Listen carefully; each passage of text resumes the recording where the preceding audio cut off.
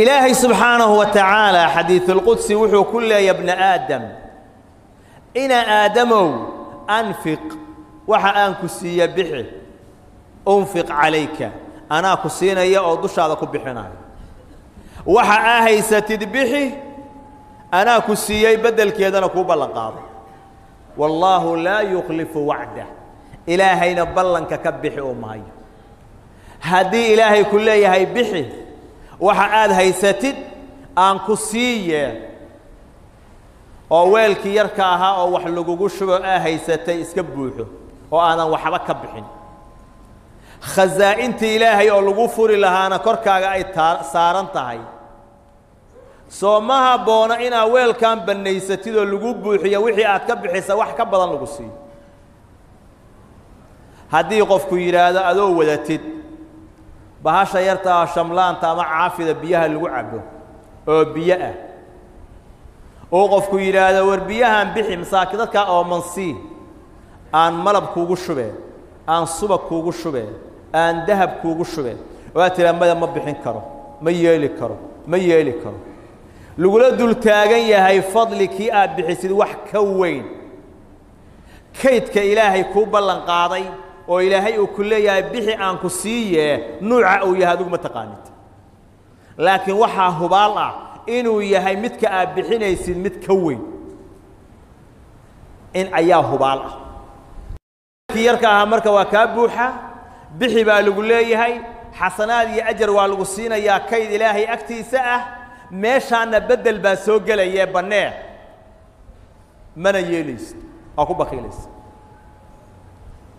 nebiga calayhi salaatu wasalaam abudari baa wuxuu yidhi nebigaan u imid. Markaan soo gaarayna kacbada hooskeeda ayuu fadhiyey nebigu. Markuu i arkay buu wuxuu yidhi hum ulaksaruuna warabbi alkacba ayaga ayaa waxay yihiin kuwa khasaarada badan ilaahay baan ku dhaartaday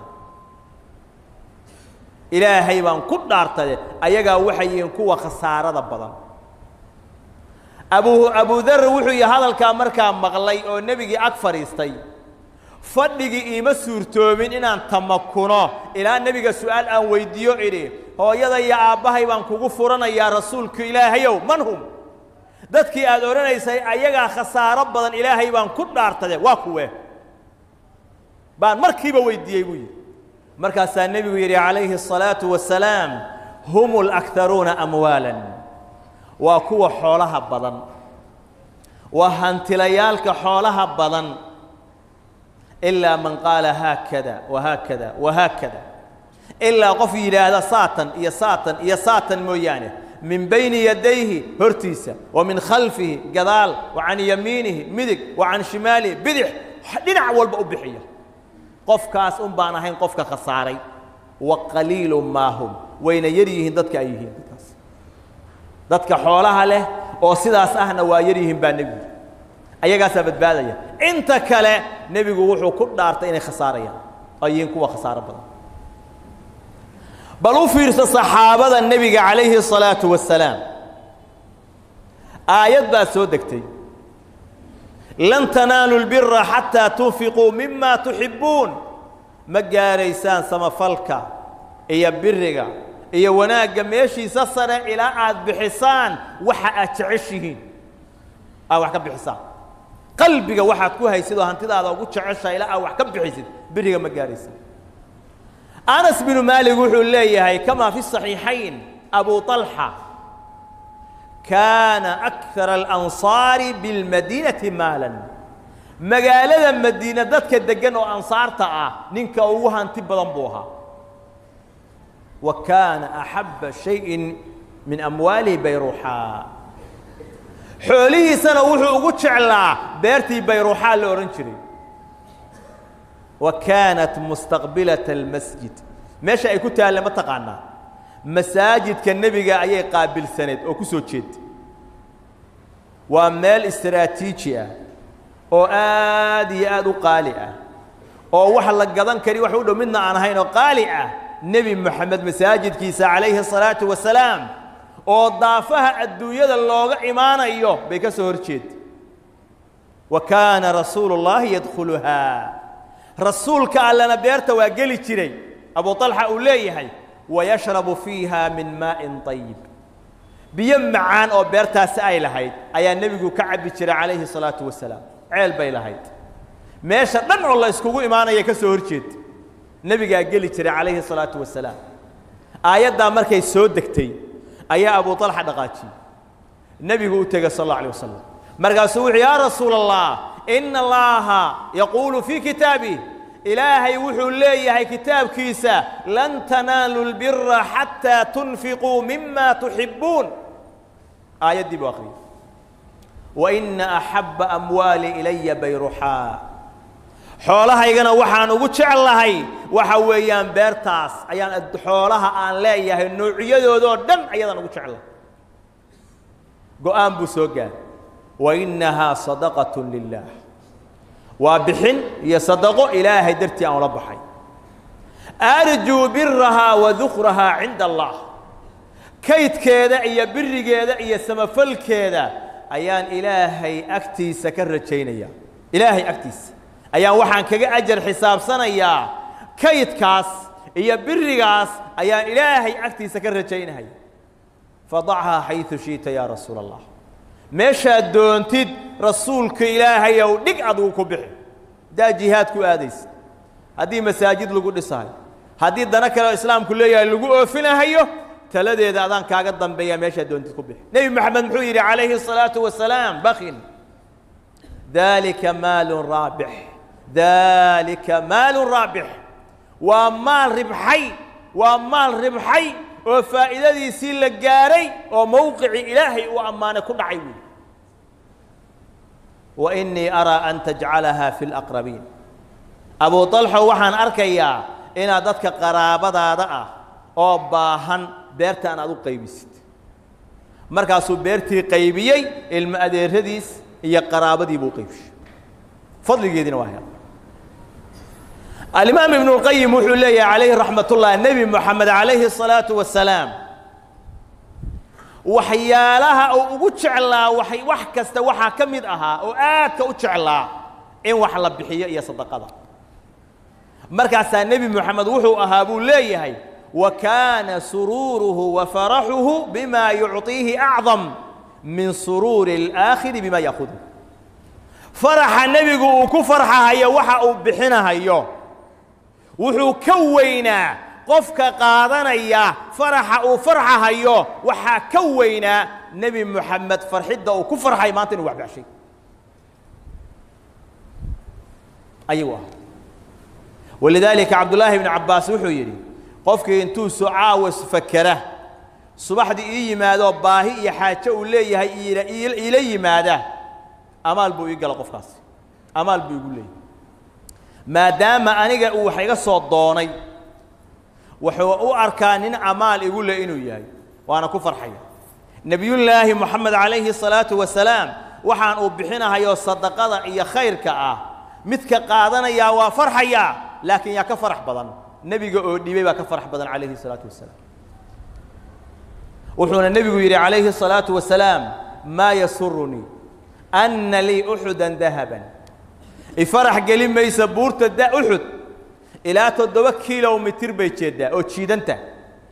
Ifarax geli maysa buurta uxud oo dahab ah inay ii sugnaato ta'tii calaya haaliatun wa cindii minhu dinaar. Hal shilinna aan ka hayo saddex habeenna ay ka soo wareegto. Aan wax ka haysto hal dinaar aan ka hayo. Ilaa dinaar arsuduhu lidaynin calay hal dinaar oo ugu talagalay dayn laygu leeyahay inaan iskaga bixiyo inaan meel ka dhiga maahane? Inaan buurta uxud inta la isiiyo oo dahab ah saddex habeen iyo saddex maalmood aan hayo ifarax geli mayso. Ee waan qaybinayaa wixii dayn laygu leeyahay un baan ka reebayaa bas bal u fiirso ilaahay subxaanahu wa tacaala waxa aad bixinaysid oo yarka ah ilaahay agtiisa siday u weyn yihiin bal nebi maxamed fiiri calayhi الsalaatu wasalaam wuxuu leeyahay man tasaddaqa bicadli tamratin min kasbin ayib qofkii sadaqaysta xabad timira wax u dhigma. Oo xalaal ayiba ah.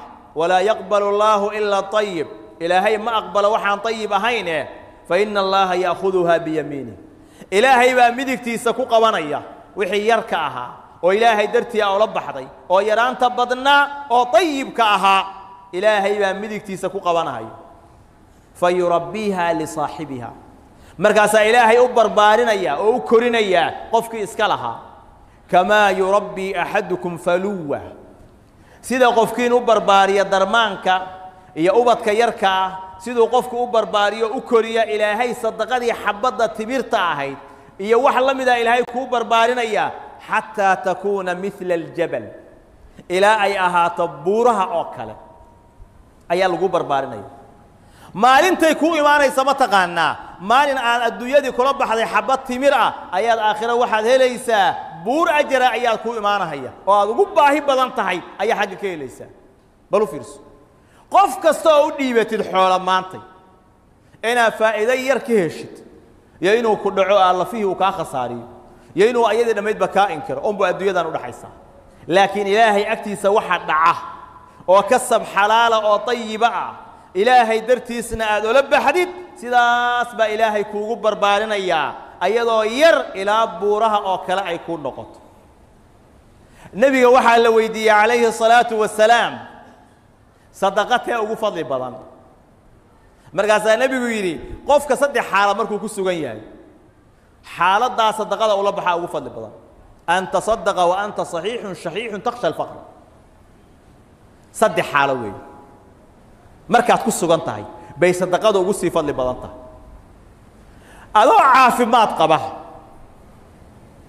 Oo waxa weeyaan caafimaad qaba oo waxa weeyaan masna bakiilaya oo صaxiix adoo anta صaxiixun shaxiixun taksha alfaqra. Caafimaad baa qabtaa inaad bixisid baad ku bakiilaysaa fakri baadna ka cabsanaysaa. Inay xooluhu nuqsaamaan oo fakri ku soo qaabilaad ka baqaysaa saddexdaa markay kugu kulmaan qofka naf iyo shaydaan la dirira oo bixiya sadaqadiisu way ugu fadli badan tahay. Markaasaa nebigu wuxuu yidhi naftu markay ku bakiilayso oo ay diidayso walaa tumhil ha u kaadin.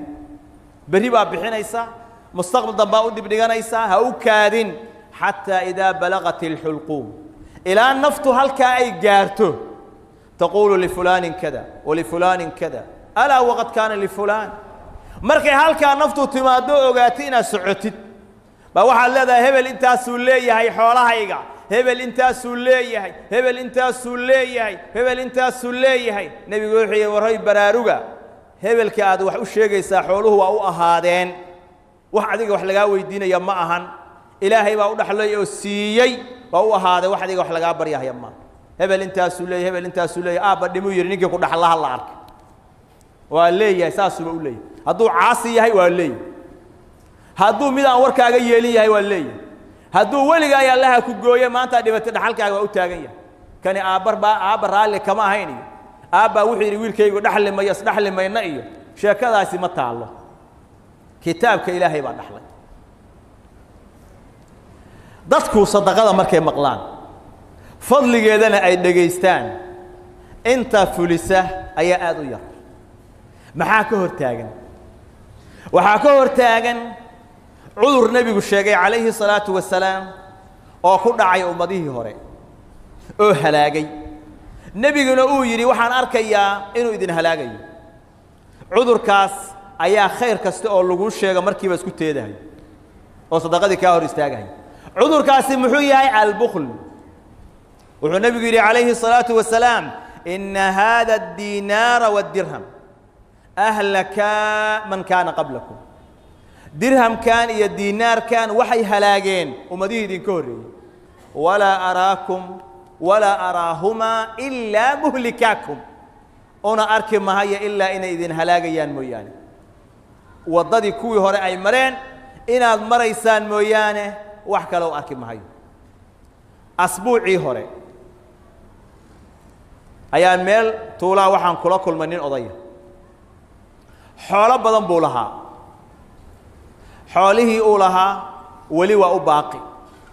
Waa leey markaasaa waxaan ku yidhi dhul badan oo meel fiican ku yaalluu leeyahay dhulkaaga wax masaajida ma ka dhisatay madu wax wadaraso qur'aana ma ka samaysa maya. Wax masaakiinta a ku waqafta ma jiraa madu ilmahaagii ka warran baa yidhi xabsi bay ku jiraan buu yidhi. Dhaqan celin baan u xihay buu dhaqan celin bay u xihan yihiin adugu meeqa jirtaa siddeetan sano ayuu jiraa ilmihiina dhaqan celin bay u xihan yihiin ma isleedahay baa idhi caqli baa kuu soo kordhaya. Maya. Xoog baa kuu soo kordhaya iyo firfircooni maya. Ma isleedahay ilmahaas haddii caawa aad dhimatid oo xabsiga ka soo baxaan oo dhulkii meesha fiican oo fiyaalaha ku yaalay ku habsadaan oo qaybsadaan waxay isku keenahayaan aabbe booskaas aan u waqafno u dayno ma isleedahay madu hadday ku joogtaa maa marka hadda caawayaysa kula gaari. Wixii aad ka yeeli lahayd hadda yeel. Nimanka dhaqan celinta u xidhan waa nimanka ku sugahaya caawa ina qoorta laabtid. Mana sii xirnaanahayaan. Waxna igama oggolaad leedahay. Dhaqan celin bayna u xidhan yihiin hadda ayaa fursadda haysataade ka faa'iidayso. Ninkana waxaan kula kulmay galab meel baadiya asagoo arig iyo cid u degan tahay. Waa tuulo baadiya. Waxa waan waraysta wuxuu yidhi hal arrin ayaan tamaniyaa da' baan joogaa. Socodkuna waa idhibaya fursad baa i soo martay oo i dhaaftay. Xoolo badan baan lahaan jiray xajkii baa igu waajibay. Xoolihiina hadda waa iga dhammaadeen. Qof iga bixinahayo aan dhalayna ma jiro. Dayntaasna waa la igu leeyahay. Xoolaheedana ma haysto caawa haddaan dhintana qof iga bixinahaya ma ogi waxaan tamaniyaa buu yidhi hadda diyaaradaha hawadaas marahaya markaan u jeedo allow yaa intuu xarig kuugu xidha oo xarigga aad qabsatid oo iska laalaadisid kacbada dusheeda markaa maraysid aad sii daysid. Ayaan tamaniyaa buuri halkaa iskaga duldhacdi ayuu tamaninaya fursad qaaliyaha ay soo martay buu yidhi waana dayacay anaan dayacay. Laba inay kuu kulmaan way fududdahay laakiin inay sii baaqi ahaadaan baa yar u fiirso. Inay kugu sii baaqi ahaadaan baa yar. Labadaasi maxay tahay? Caqli iyo xoog adoo leh xoolo ilaahay inuu kuugu daro way dhacdaa. Dad badan baana sidaas ah. Xoogna waa leeyahay caqlina waa leeyahay oo taladeeda waa leeyahay xoolihiina waa hayaa. Hal mid haddaan ilaahay kuugu darin calaa khatar baa ku sugan tahay. Go'aan intaa qaadatid oo waxaaga hoos ka xariiqday inaad bixisid. Haddaysan kuugu darmin labadaani inay iska baaqi ahaadaan waa yarta. Ama caqligii baa tegaya oo sariir baa fuulaysaa caqligaaga waa zuulaya. Ama waxa weeyaan xoolihii baa dhammaanaya ama geeri baa ka soo hormaraysa. Imise nin lahaa inay wax sadaqaystaan oo wax badan rabay qorshe u degsaday oo waxa weeyaan la yidhi qaraxii hebel dhacay ishmaale heblo dhacay wuu ku tegey. Hebel waa la dilay. Intaas oo qorshe ayaa u diyaarsanaa maantaad haysaa caqligiina aad leedahay nin baa waxaa ku dhiftay aan garanayo dhiikar baa ku dhiftay. Shalal buu noqday hadalkiina ma soo baxaayo mana hadli karo. Hantilo ayuu ahaa. Wiilashiisii mid ka mid ah ayaa nin weydiiyo waxaan ku idhi xoolo badan buu ninkaani lahaa. Haddana waxa weeyaan nin hadli kara ama caqligiisa shaqaynaya ma ah nafta un baa ku jirta. Ma laga yaabaa xoolaha in wax loo sadaqeeyo? Madi buuri lagama yaabo dadkaani uma samaysna buuri asagana waxaa laga yaabaa hadduu dareen yar maanta joogi lahaa waxa uu arkay arki lahaa inuu wax badan la bixi lahaa. Waxaan idhaahdaa dad badan ilmahaaga waxaa kaaga baarisan culummada.